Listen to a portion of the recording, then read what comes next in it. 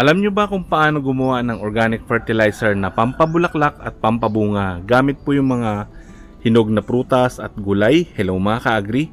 In this video, gagawa po tayo ng fermented fruit juice. Coming up! Yung nutrients po na pampabulaklak at pampabunga ay potassium. Ngayon maghahanap po tayo ng materials na mayaman sa potassium. Sa lahat po ng mga organic matter, ang may mataas po na potassium content ay yung mga bunga din na galing po sa ating mga halaman. Pwede yung mga hinog na prutas, hinog na gulay, yan po yung ating pinaka basic ingredient sa paggawa ng fermented fruit juice. Huwag po kayo malito sa fermented plant juice tsaka fermented fruit juice. Yung fermented plant juice, yung kailangan po natin na materials para makagawa nun ay yung mga dahon. Kasi dahon din po yung uh, magbe-benefit dun sa ginawa nating fertilizer. Sa fermented fruit juice naman, gawa siya sa mga prutas at gulay. So, pampabunga. So, yun din po yung gagamitin nating material sa paggawa ng organic fertilizer. So, parang dahon sa dahon, bunga sa bunga. Ipapakita ko rin po sa inyo kung paano natin gagamitin itong fermented fruit juice. Ang gagamitin natin ngayon sa paggawa ng fermented fruit juice, itong saging na saba. Pwede tayong gumamit ng iba't ibang klase ng prutas at gulay. Ang pipiliin lang po natin yung hinog na. Yan po yung pwede natin gamitin. So dahil ito lang po yung available dito sa amin, ito lang po yung ating gagamitin.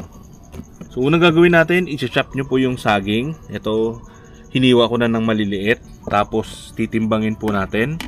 So nagtitimbang po ito ng 300 grams. Kung gaano po karami itong mga materials, itong mga prutas, Ganon din po karami itong molasses. Pag natimbang na po natin yung mga ingredients, ipaghahalo lang natin siya. Ilalagay ko na yung ating molasses.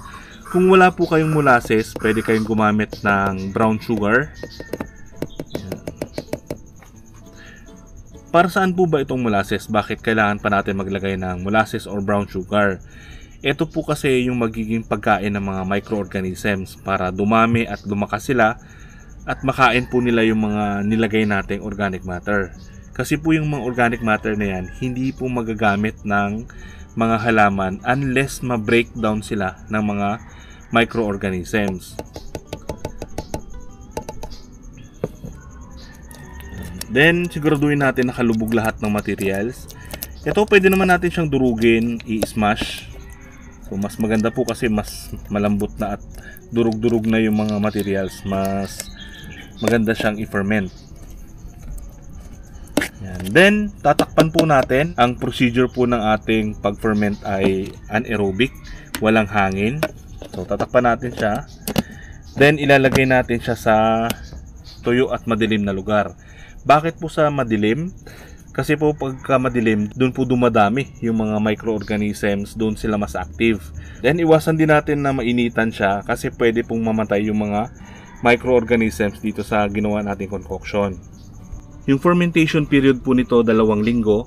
Yung iba one week lang ginagamit na nila. So walang problema po doon. At least one week kung talagang kailangan nyo nang gamitin yung inyong pampabulaklak at pampabunga. Pero mas matagal, mas maganda. Yung iba nga po inaabot ng one month Then, bago nila ginagamit. So, walang problema po doon. Then, tumatagal po ito ng 6 months to 1 year. Depende po sa pag-store natin. Then, after po ng 6 months or 1 year, dahan-dahan na pong bumababa yung potency ng ating concoction. Tapos, itong mga balat ng prutas na pinagkunan natin, pwede natin siya i-dump dyan sa ating swamp fertilizer. Paano naman natin gagamitin itong fermented fruit juice. Magtitimpla lang po tayo 2 tablespoon per liter of water. So ilalagay nyo po siya sa sprayer, then i-apply natin sa ating halaman.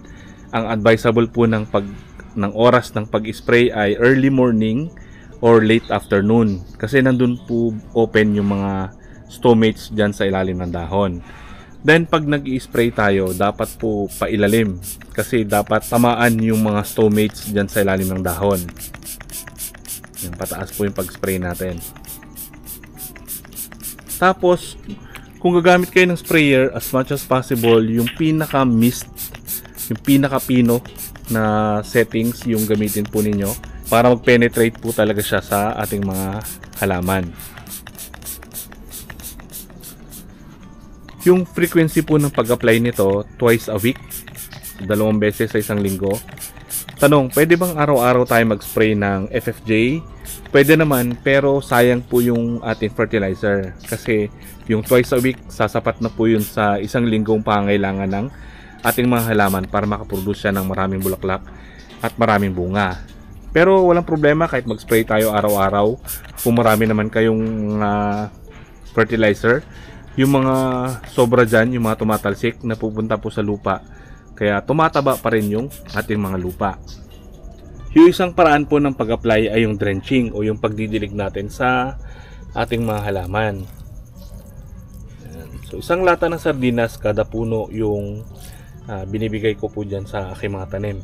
Ako mas prefer ko siyang i-fuller feeding kasi meron po akong ginagamit na pandilig yung ating swamp fertilizer. So pinagsasama ko na lang yung dalawa na to. Ina-spray ko tong FFJ tapos pagka kailangan kong i-drench or diligan, ito na mismong swamp fertilizer yung ginagamit ko.